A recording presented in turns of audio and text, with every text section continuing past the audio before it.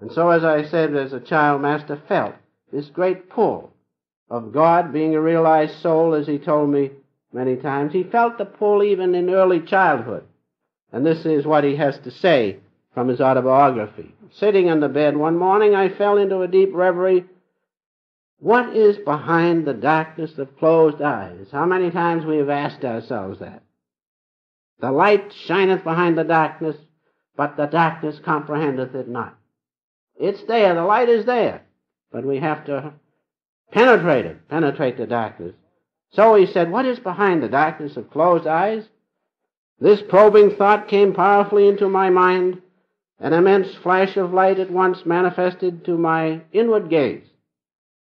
The silvery beams expanding in ever widening circles of infinity.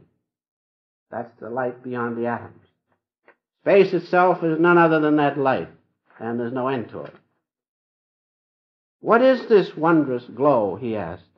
And the voice came to intuition I am Ishwara.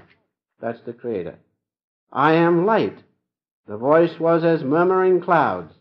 Then Master says, I want to be one with thee. Naturally, that's the pull of God. Out of the slow dwindling of my divine ecstasy, I salvaged a permanent legacy of inspiration to seek God. Once you contact that, you can never let go of it. That's the power of God. That's why it's so important to know God.